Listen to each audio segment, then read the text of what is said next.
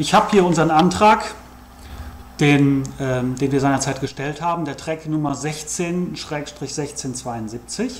Und da heißt es zum Beispiel unter Ziffer 8,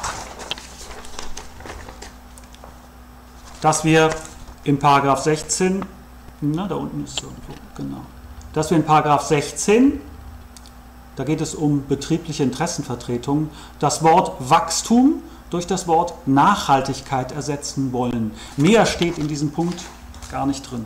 Aber man beachte jetzt, was im Parlament dazu passierte. Wir kommen zur achten Abstimmung. Das ist die Ziffer 8 des entsprechenden Antrages. Wer stimmt hierzu? Die Piraten. Vielen Dank. Wer stimmt dagegen? SPD, Bündnis 90, die Grünen, CDU und FDP. Vielen Dank. Stimmenthaltungen? Das ist nicht der Fall. Damit ist auch die Ziffer 8 des Antrages, des Änderungsantrages abgelehnt mit dem festgestellten Abstimmungsergebnis. Tja, wie man sieht, lehnen alle Fraktionen geschlossen diesen Antrag ab. Nicht mal aus den Reihen der Grünen muckt bei diesem Punkt jemand auf. Dabei hätte die Änderung nicht nur nicht wehgetan, die wäre sogar sinnvoll gewesen. Stattdessen Neoliberalismus auf ganzer Linie, Wachstum, Wachstum über alles, Nachhaltigkeit, nein, danke.